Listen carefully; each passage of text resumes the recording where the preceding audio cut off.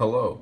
Now, if you clicked on this video, it's because you're probably a gym junkie and you really want to know how to make your own vitamins at home. I'm going to teach you how and I'm going to show you exactly how to make these. So the first things you want, a non-toxic disinfectant wipe, ground cinnamon, a Lucky Charm marshmallow, and a hot dog roller. What you want to do first is take the non-toxic disinfectant wipe, set it down, and now you want to take your ground cinnamon, you want to pop it open, and you just want to sprinkle a decent amount, you know, nothing too, you don't want to be too overboard. You want to have about the same ratio as the marshmallow. i Want to fold this, roll it, roll it, roll it, roll it, roll it, roll it, roll it, roll it, fold it. Now what you want to do is you want to set this down. Now you let it rest there for a few seconds.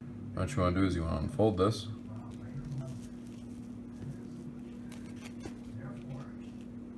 And besides showing you how to make a vitamin, it's not the main reason I'm here today. I'm here to solve how long is it?